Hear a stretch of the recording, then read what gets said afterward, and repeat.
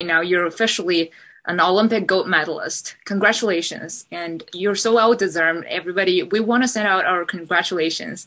So what's your feeling right now as an Olympic gold medalist? Um, thank you so much.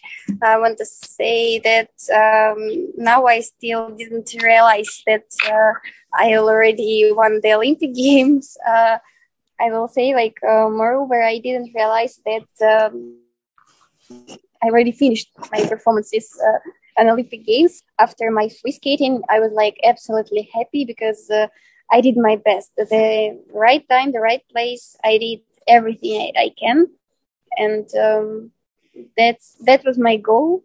So I'm so happy. Did you call your parents? Get some time to call your parents? Yes, of course. Uh, after my first skating, uh, when I had uh, a chance to, to, take my phone, first what uh, what I did, I uh, called my mom, and uh, she they were together. My parents, my sister, and they all were watching. They were cheering for me. So um, that was like um, one of best moments because I think that they were more nervous than me. So yes, I I was talking to them. Yeah, um, even before your final competition, I saw there was a video of your whole family at your house, and then they were all cheering for you. Did you see that video? Oh, of course you did. You posted yeah. Of course. Um, does that video means a lot to you? Yes, because it was a surprise for me. They didn't tell me anything. I just saw this video on the internet. Yes, yes. Oh, um, so yes, uh, that was very cute. Okay, so um, we know that before the games, um, there were reports saying your skates were bad, so you changed to new ones. As, are the new ones worked as well as the old ones? I think that uh, there is. Um, mm, we don't need to talk about this because uh, it doesn't matter for me. I uh, oh, skated okay. clean. I skated my programs. Um, I didn't make any mistakes, so uh, that uh, that mean that the new skates. I only ask this because a lot of your fans are worried about your food because you know new skates are really hard, so they were mm. worried about your food.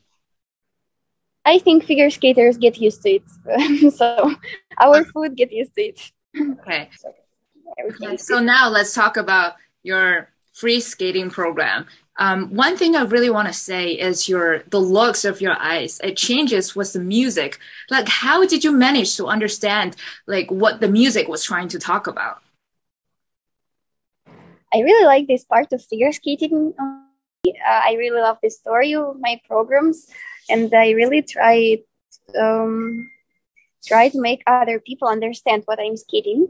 And uh, so I like not only the sport, like uh, in figure skating, I also like art in it.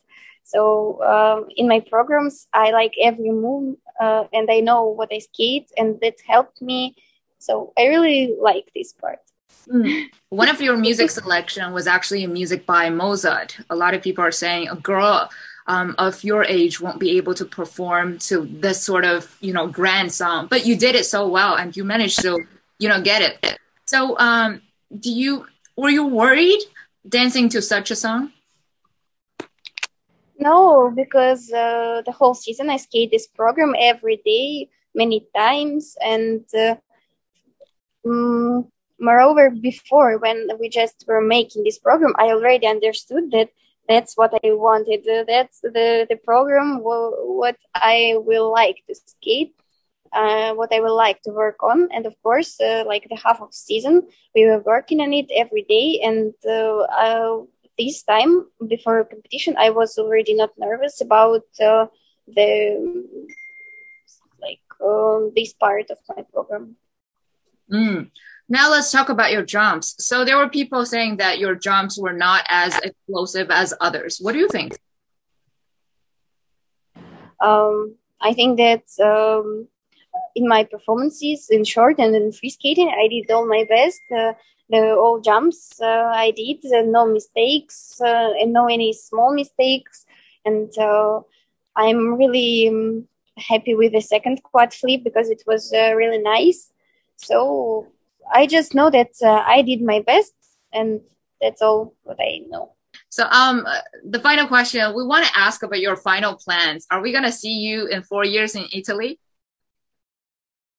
I don't like to talk about uh, so long time. Uh, I don't know what will be like tomorrow, so I can't say what will be in four years.